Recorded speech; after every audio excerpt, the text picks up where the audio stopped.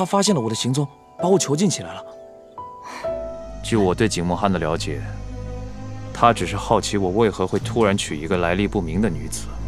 我现在如果不想办法牵住二人，他们迟早会发现结界的存在。大王此计甚好。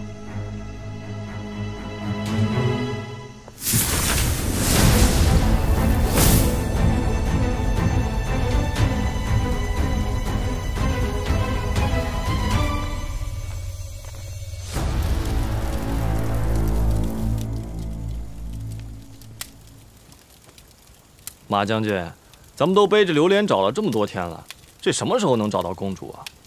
我一定会找到公主的。如果找不到奇葩公主，我就以身报国。哼！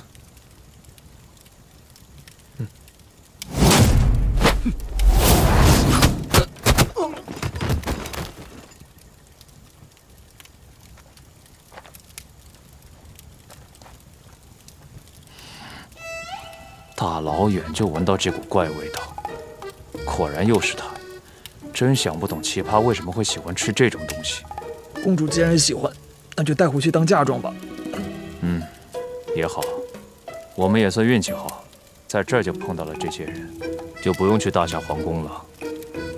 那个人，把他装回去。他跟公主相识。是。等等，全都装回去吧。人多热闹。遵命。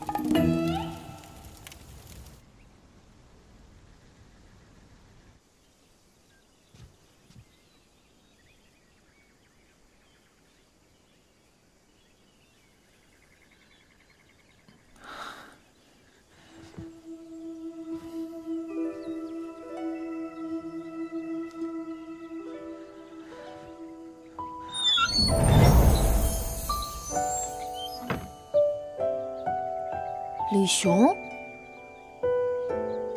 公公公主啊，我昨日没能赴约，是因为奎木狼他发现了我的行踪，把我囚禁起来了。原来如此，那那你有没有受伤？啊，我没事，公主。八成是这奎木狼知道我们之前去过森林，然后对你有警惕。他把你关起来，你又联系不上我，你是不是非常着急啊？啊！这可恶的奎木狼竟然把我耍得团团转，想不到他的城府居然比我想象中的还要深。其实奎木狼他有句话让我带给你，他说：“今日公主就可以见到娘家人。”真的？他真的把人带来了？